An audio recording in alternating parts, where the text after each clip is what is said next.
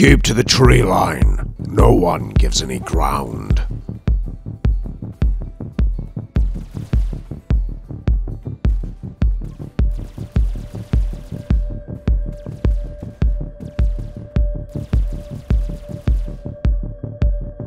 Couple survivors. Sergeant, this one looks a little funny. Uh, shit. Lieutenant, we have three survivors, one of interest. How much interest, Sergeant? Bleeds blue, circuits sparking inside. Looks like an AI. Secure it. Kill the others. Confirmed. Allsmod unit, announce my arrival. Affirmative, my lord. Lieutenant, it would seem your unit is lesser than expected. Indeed, my Lord Explorator. My unit was sent to establish a forward operating position, with the rest to arrive when that is completed. I see the Militarum is being inefficient with its resources. I understand your reservations, my Lord Explorator. However, we are the Mordian Iron Guard. We exceed, even when we are dealing with inefficient resources. Though, this is not why you are here. The rest of you are dismissed. My lord, I have for you an abominable intelligence. It is quite advanced, and looks to my untrained eyes to be fully human in appearance. Very well. Show me. Right this way, my lord. Yes. You will definitely provide me with the information that I am searching for.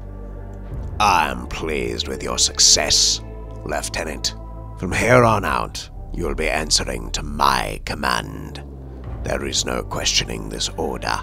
Is that understood? Yes, my lord.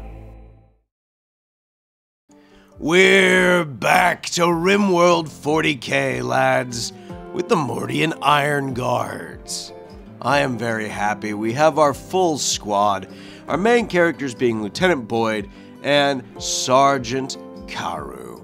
Of course, we have our heavy gunner Riggs and our two standard issue guardsmen, Dennis and Kimmy.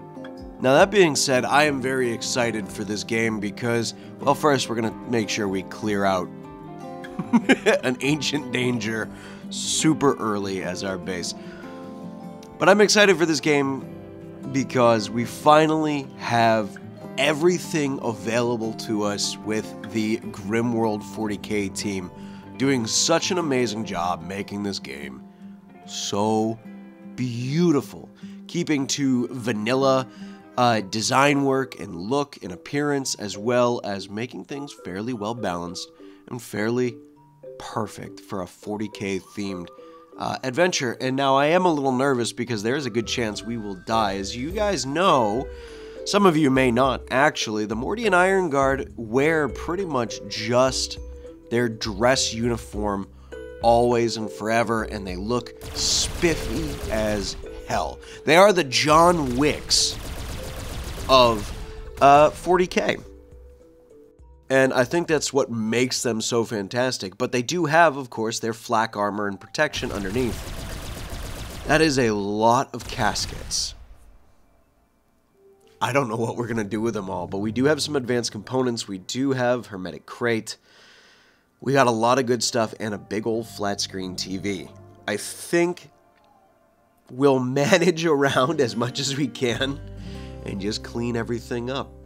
An orbital power beam target. Oh my god, no. Someone's gonna pick that up and kill us all. What do we have around us? Shock ram. What the hell are you? Raptor shrimp. Not the kind of shrimp I want to be eating or fighting with. A few ancient operating tables. Now, there are mods that I have installed that will allow us to pick up the ancient gear and utilize it for ourselves. And those ancient operating tables, I cannot let go. They are going to be far too useful. Now, for those of you who don't know, lore-wise, the Mordian Iron Guard live in their big domes, pretty much undergrounders, and that's going to be one of our first foci as we expand the Imperium of Man tenants for the Mordian Iron Guard. Why are you guys hunting rhinoceroses? Rhinoceri? Is it rhinoceri if they're a pack? Or is it just a herd? Eh, it doesn't matter. It's a it's a rhinoceri herd. and they're all ours. Where's St- Oh shit. No, Riggs. Riggs, put it down. Come back. Come back. Come back, come back, come back, come back. Come on. If Riggs dies, that's a he bit us. Could you imagine getting bit by a rhinoceros? I'm more worried about him getting gored by that horn. Uh, come on. We're bleeding out in seven hours. That's a big bite. We can't even get a... He is getting smacked by the horn, but he's not getting pierced by it. Okay, there it goes. Riggs, go get tended to. Oh, you're going to eat first. Yeah, smart move. Go ahead. Let's make uh, patience, patient, patient, patient. There we go. Okay. Uh, who's our best doctor? Kip, Dennis? And Dennis with a 12. Okay, so if we lose Dennis or Kimmy, I think both of them are really good off the top of my head. Um, but if we lose Dennis, we're in trouble. And Riggs, you're just... My guy is sitting there and he's so focused. He's like, no, it's fine. I just need to eat. I just need to eat. God damn. Oh, he's... Good. I just noticed. I've been playing this now for a good, good handful of minutes. I think it's been like 20 minutes, and I haven't even noticed that his hair is David's from Edgerunners. Let's get our kitchen and meat locker built up. I think this will be good. We're gonna have to do that um, kind of little dome shape for the cooler, just to get that out of the way. And uh, we'll clear that, and that should at least make it so if anyone drops into the freezer with a hostile drop pod, they'll cook themselves to death, or they'll just starve to death as they try to break through the walls. Perfectly normal, perfectly fine. And my biggest worry is is they're focusing on deconstructing and building and they're not going to give themselves a way out and they're going to kill themselves like we've seen happen before in RimWorld because sometimes even with all the past pathing mods. Ross, Isolda Ross, 15, she'll be 16 in a handful of days. Shooting, cat person, fun-loving and ignorant. She is a perfect Imperium citizen. She's ignorant. Ignorance is bliss. You don't want to be informed in 40k. You want ignorance, and we are. We need to make work tab, don't we? we'll get that sorted out super fast. That won't be a big deal. And uh, oh, by the way, we are in a permanent summer tropical climate. For those of you who might be wondering, it is tropical.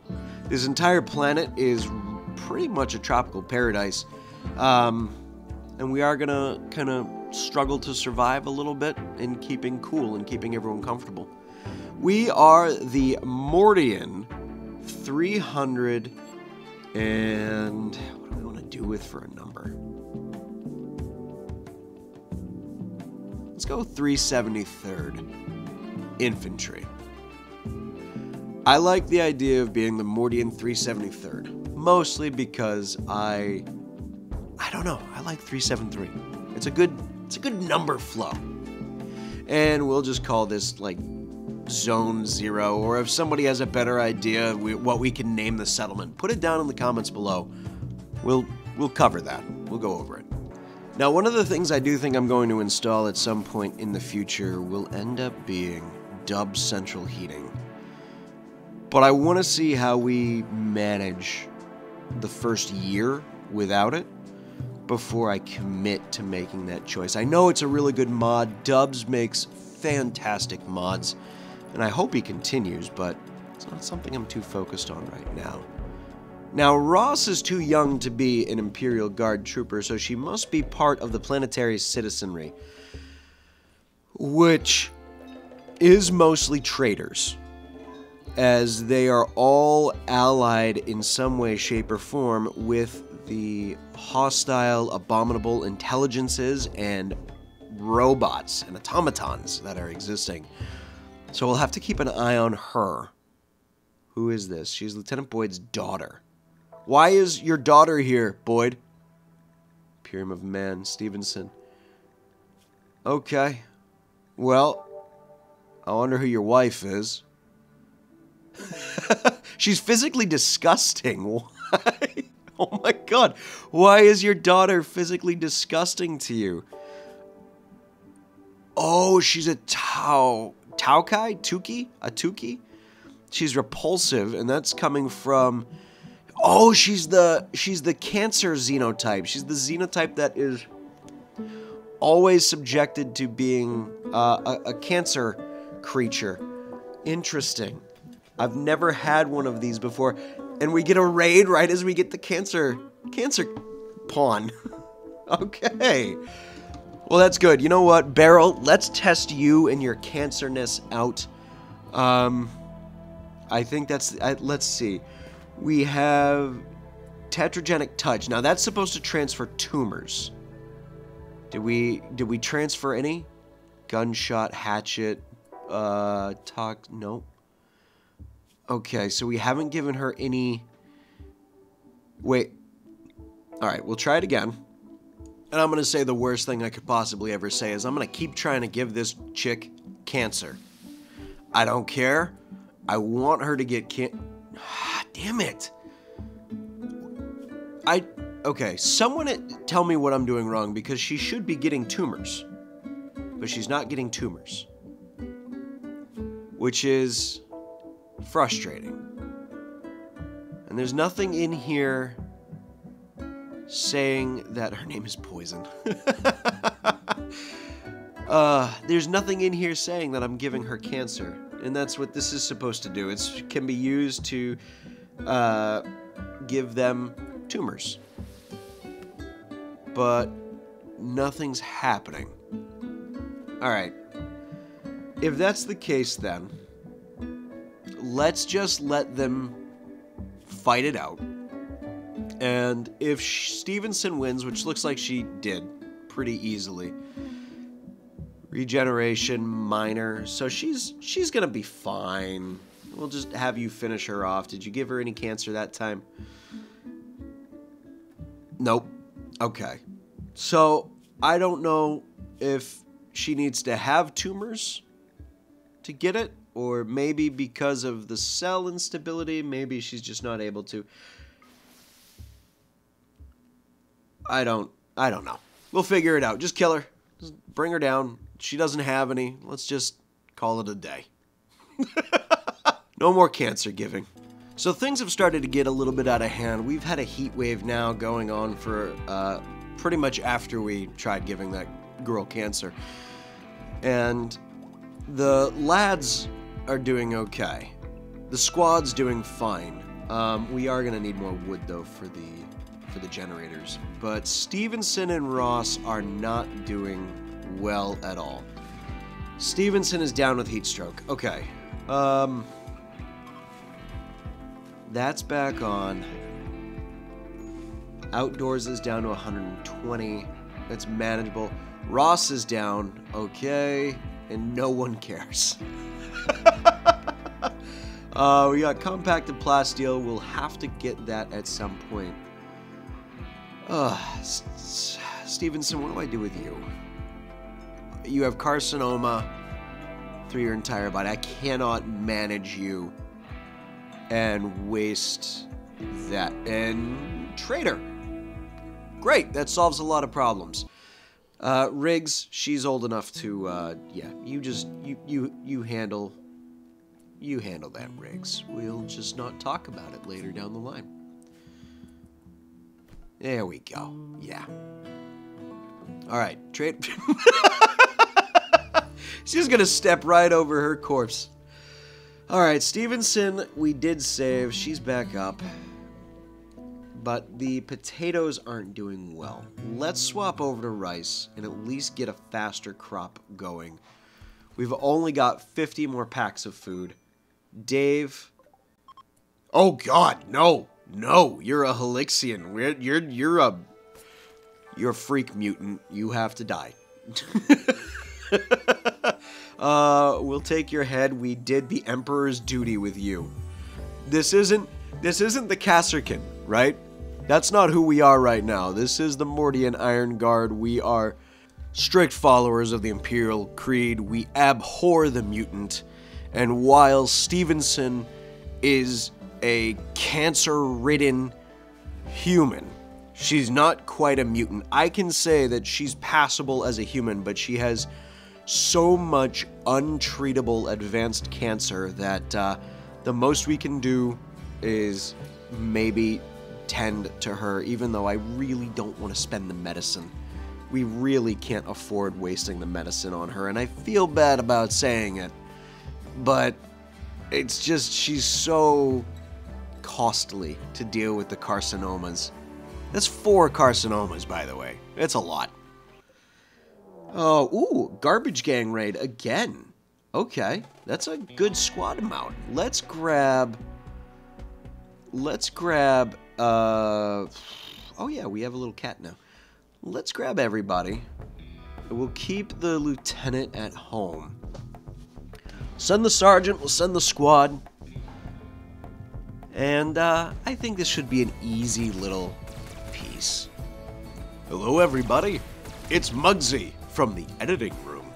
Yeah, I decided to turn this uh, raid into footage, and so I figured why not talk to you guys about how I kind of go through figuring out what I want to do with footage for the story. And as you guys saw during the animation, I took the opportunity to turn this into a story point where I could get the Mechanicus to come in uh, as part of this uh, story beat. So we here taking the android hostage, killing everybody else that came along with the raid. No other survivors, we just needed the one.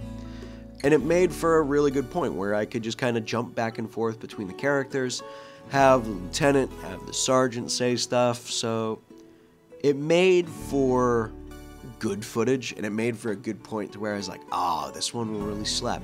So this is kind of how the recording goes. It's pretty lame and it takes about 30 minutes out of the day.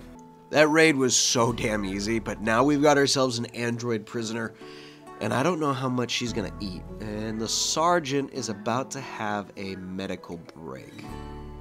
I don't think that the android's gonna go anywhere, right? They're all gonna bleed out, they're just wiggling.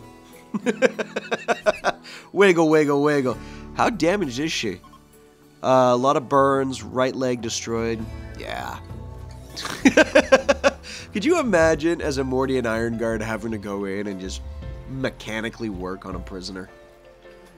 How am I going to do the beds? If we give them three in each square, it makes very compact bedrooms. I'm not doing barracks living, but I'm also not giving them each like individual housing. I'm not looking to really make it that big, but if we want to give them three, uh, one, two, three, uh, yeah, and then we'll just carve out the last layer and give myself extra work. So this is build base, guys.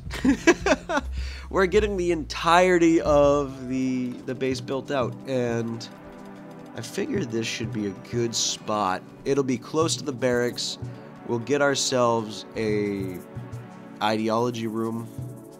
There are times where I want to not do ideology, but then they build up their own ideologies and everything becomes crazy. Oh, the sergeant is out on his own. Great. And we get a raid, and he's having a daze outside.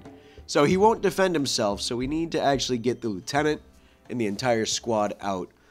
We did also pick up a high mate along the way. It was just a rescue.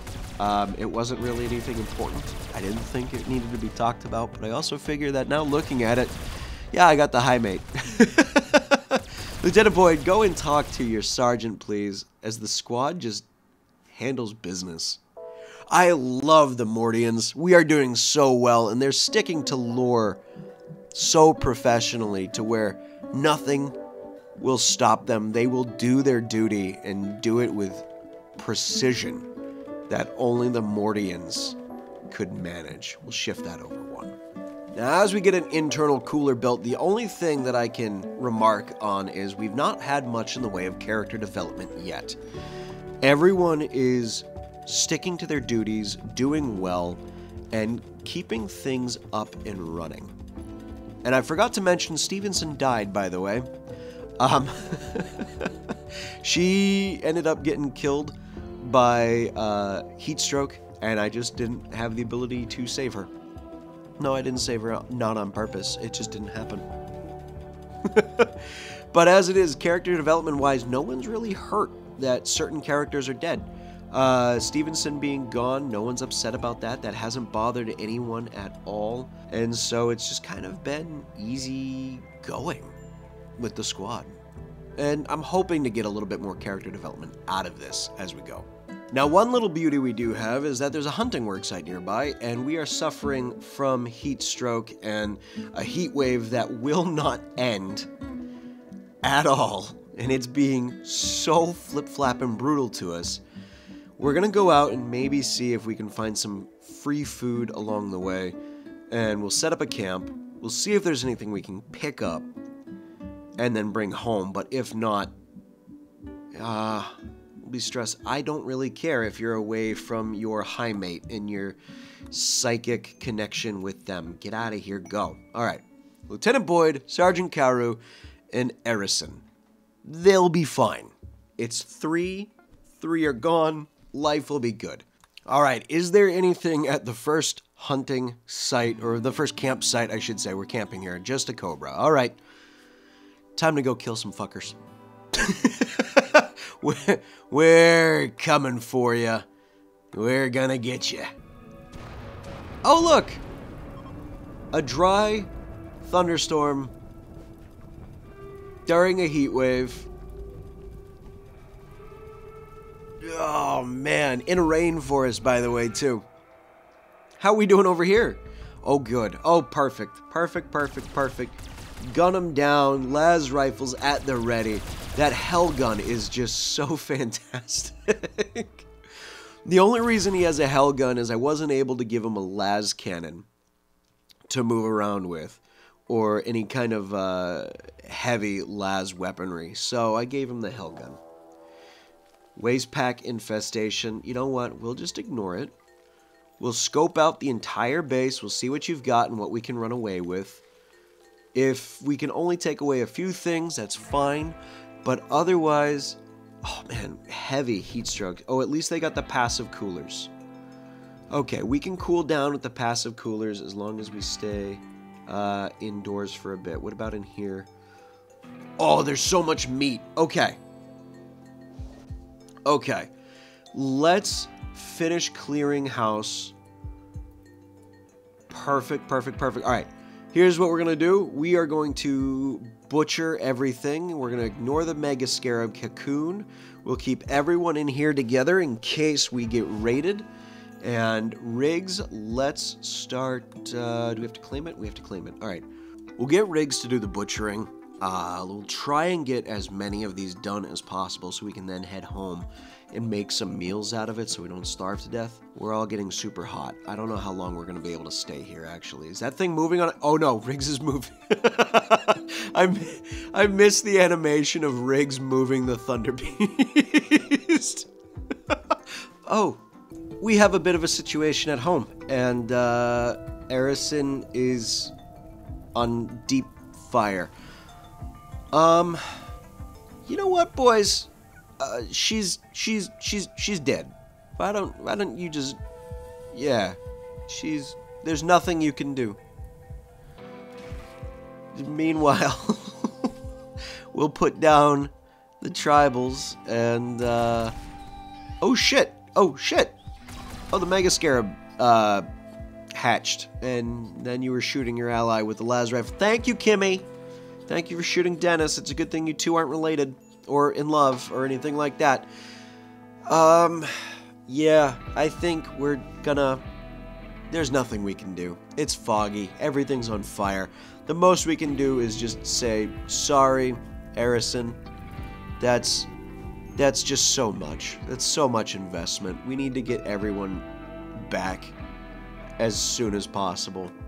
and I think we'll just we'll get them sent back uh, relatively quickly. We'll grab the ancient operating table as well. How much pork? 511 pork. That is fantastic. It will rot in 1.4 days. That's okay. We'll take the pemmican with us as food. Uh, ancient operating table. We'll grab the good one. Uh, we're only able to grab one. That's fine. That's fine. Oh no!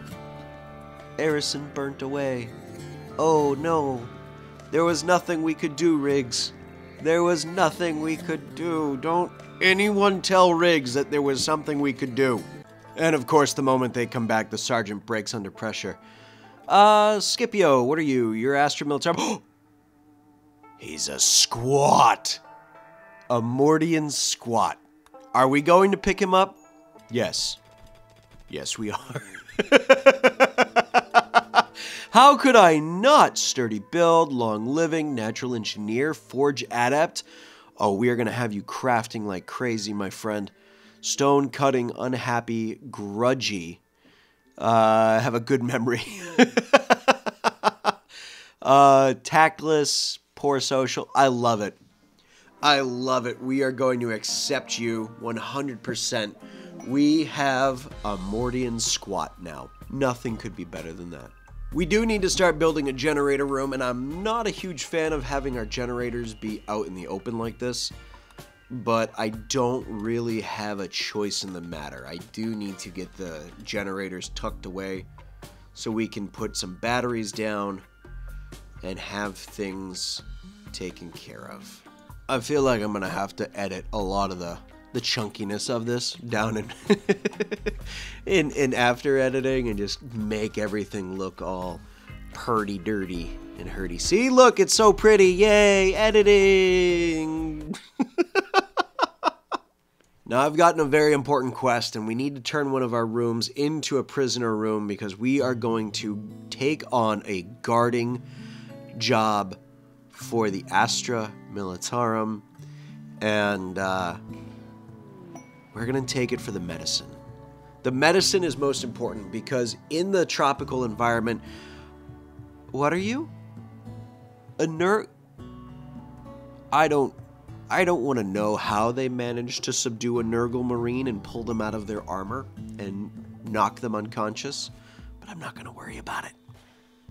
I took a break and I decided to install Dub Central Heating, and we are going to get geothermal power done as well but it needs to be done. And before we get geothermal power taken care of, we need to um, make the area around the steam geyser look good, like a freshly packed, steamy hole. Yeah, I know what it looks like. It's a freshly bleached geothermal hole. What do you want of it?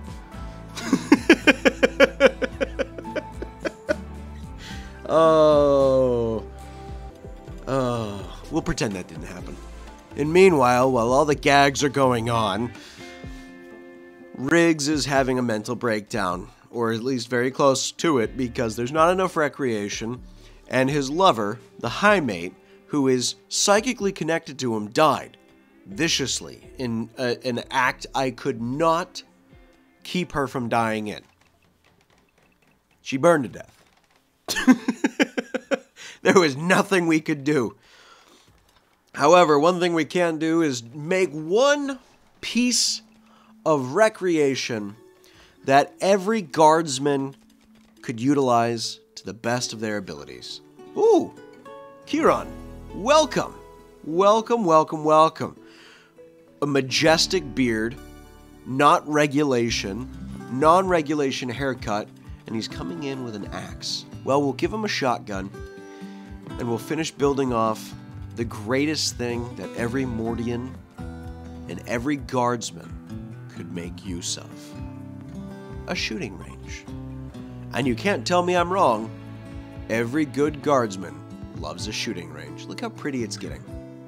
We need to extend this wall a little bit more so we can put some more lights up. uh, let's come down. That way they're not shooting in the darkness. We may need to get a little bit closer. But I also know that the stray shots will uh, cause some hiccups down the line. But it looks good. Steel tiles, some stone gravel, and at least the bedrooms are coming along quite nicely. Uh, the other thing I love with Dub's central heating is we get fans, so everyone gets an oscillating fan in their bedroom. Traitor. What? Who? Kieran, you bastard! Oh! Alright, um, Sergeant, get in there. Oh, you son of a. You destroyed that bed so quick. One of the biggest problems about having super speed on. Sergeant, take him down. Take him down. He's only got a shotgun that he's punching you with. You've got a chainsaw. Do your duty. Hit him in the face. All right, we got him down. Right ear, jaw shattered. Yeah, I would assume so, getting a chainsaw to the face. Uh, we can't capture. Okay, we need to put him... Not floors. Uh, yeah, there we go. we need to put him with the sleeping Nurgle Marine. Yeah, enjoy breathing that in. You bastard. We'll execute him. He's a traitor to the Iron Guard. He will absolutely get executed. We'll stabilize, then strip, because we can repurpose that armor, that uniform can be repurposed. And we have to rebuild this bedroom. God damn it. It's the little things that end up causing trouble, and we have to deal with in the long run. Yeah, the gear's not destroyed. We can definitely take that. That's ours now. You're going to be naked with the Nurgle Marine, and I will execute you some point down the line in the future. Time for Mugsy After Edits again. You might notice that the Explorator and Allsmard have completely different outfits than in the animation. That's because I forgot that the dual wield mod and the Mechanicus mod uh, do not mix well together. In fact, they don't mix well to the point where everyone loses their command bar. So I'm not able to uh, enlist anybody, I'm not able to give them priority assignments or anything of that nature. They become completely out of my control, like they're not even my pawns. So I got rid of the dual wield mod in favor of having our Explorator and our Primus look how they're supposed to look, or as close as we can. And um, I'm building a whole new internal kitchen, grow house, and cooler system right now. I'll hand it back over to myself. Look at how pretty this is going to be. Oh, we'll have the kitchen to the left, we'll have the cooler in the middle, and into the right here is going to be our entire grow zone. Once we get the walls built, we'll clear out the roofing thanks to the removable roof mod pack, and it'll look beautiful. We'll get rid of this ugly ass shithole, we'll turn it into something useful, and a whole hostile faction. They're all androids. We go to war.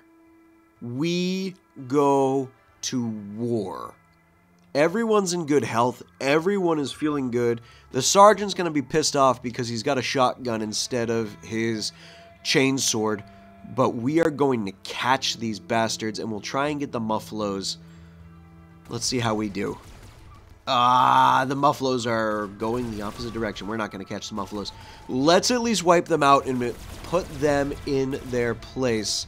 We'll spread out a little bit more and try and get some cover and create some blind spots here. Uh, how we doing? So far, the sergeant's the only one who's bleeding right now. Kimmy's taking some hits. Lieutenant Boyd's taking some hits. But we are bringing them down. Kimmy's lost an eye. You can tell by that little eye notification where it looks like it's a missing socket. But we are doing everything with the efficiency of the Mordian Iron Guard right now. Look at that. Not a single survivor close to base. Kimmy, there's that eye shut out fresh. Sergeant's barely wounded. Kimmy's the one who's just bleeding out of her eye hole. Talk about the best Mordian Iron Guard you could ever ask for taking... Oh, incendiary launcher. Oh, we accidentally took out a panther. Okay, well, that's food. So...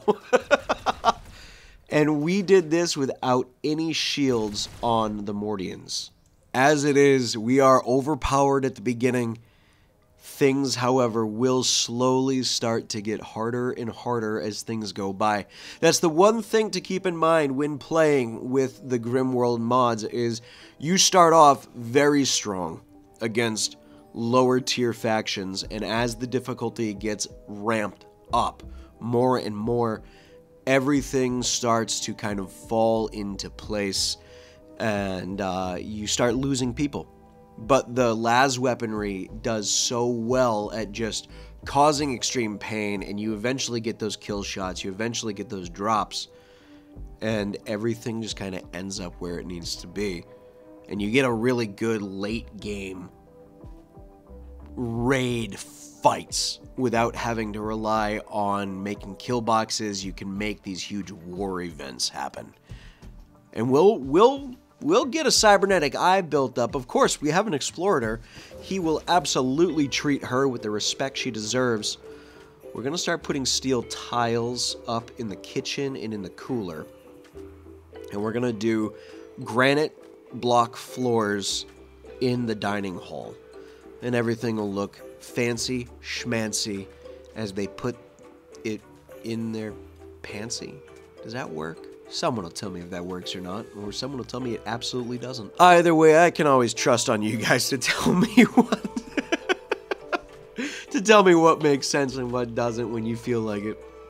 Everything looks so good. Kitchen's built, dining hall is getting finished up. We've got a piano, and now it's time to put down soil. We had to wait a full handful of days to get terrain rehabilitation built up, but now that it's built up, we can take care of all of our growing inside. I'll do the steel tiles on the outside of the terrain and we'll get the tilled soil taken care of.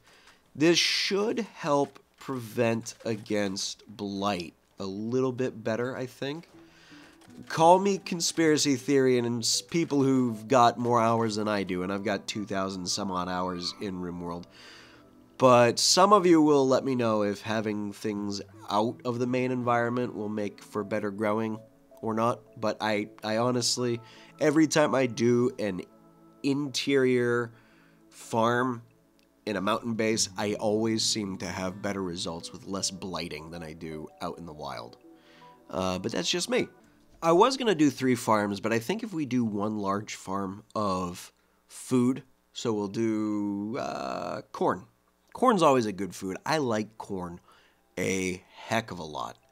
So let's do corn and then we'll do a proper crop like Devil Strand. So we can actually start making our own clothes in a couple seasons when stuff starts falling apart. So let's get the Devil Strand up and running. How many days? 22 days. Yeah, I think we'll be fine with having the Devil Strand, and it's six. So it'll take a while, but we'll be able to make some good heat-resistant clothing. I think that's probably the best idea. Or not, because I have nobody who can actually sew the damn plant. So, cotton it is.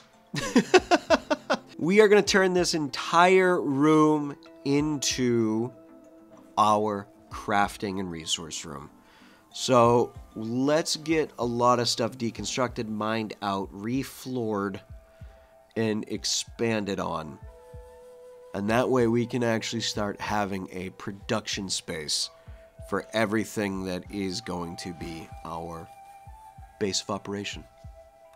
Well, that did take a good long bit, and we are finally able to get the Militarum workbench up and running. We can't do the furnace yet. We don't have the ceramite, which is okay, but having the Militarum workbench should allow us to produce the Mordian Iron Guard gear as well as las rifles. We'll get the electronic repair bench up so any gear that needs to be repaired can be repaired. We'll have the electric tailor up, we'll get the machining table up, and everything is going to look hunky-dory down here. Clear that out as everyone starts putting stuff away. Thankfully, we're going to start clearing out this main hallway, which I don't know what I'm going to repurpose as, but we'll figure it out as we go along. It is time to execute Kiron for being a traitor. I think I'm going to keep it being the sergeant as the executioner because the sergeant was the one who took him down. And I think it is going to be the best way to go about killing this traitor. How dare he raise arms against us? Talked about the methods of execution. Oh, do you really need to do that? Satisfying public execution plus six mood, though it wasn't good enough to give us development points. That's alright. Either way, I still think that is a big win for the Mordians. Looking at things, we have just enough space to build some extra bedrooms, and we are going to take as much of that as we can. Um, you should just be working all the time, right? Is there anything else I'm missing with the androids, by the way, that uh, I'm gonna need for her in the future? Can anyone tell me that down in the comments? I've never used the Android playthrough mod, so I'm kind of in the dark if she's gonna need anything else to help keep her going in the future. I know she's down a lung, but I didn't think the androids had lungs. But all in all, she's an abominable intelligence that needs to be dealt with at some point, naturally. Andre, jump to location. No! Andre, military journalist. and you're hostile. You're a bug. Why would I let a bug join? All bugs deserve to be squished. Ugh, God. Yeah, Android Synthetics, Hostile Mech Legion. Get out of here. Get out of here with that crap. I'm not. However, with him did come an ancient complex, which, to be honest, I think is going to be a really good call to go for at some point in the coming days. But Bug Boy, no. Calm Manglers. You know what? You're just coming to log, but I am going to take you out. And any of you that I can take prisoner, I will. And I love the fact that they're not fighting back. They're just kind of letting it happen. Oh, one tried fighting back and he got shot in the face. if you get attacked with arc rifles and las weaponry, at some point you have to question if like where you're going to to steal things from people is the right spot. And uh is there anyone worth taking? You're tough, neat, and greedy. Uh, cold tolerant, misogynist, composed. Uh, Yukiko shooting is great. Psychopath, chemical interest. Ugh. We might take you though. You could still be a great soldier. We are in dire need of steel, not only for just making stuff, but for making components as well. It's marble. We'll just we, come on, click. Come on. Okay, L. Shh. Damn it. There we go. we don't we we need the steel not only for weapons but for components and there's so much of it just kind of hanging on the outside of the base and there's a ton inside the mountain as well.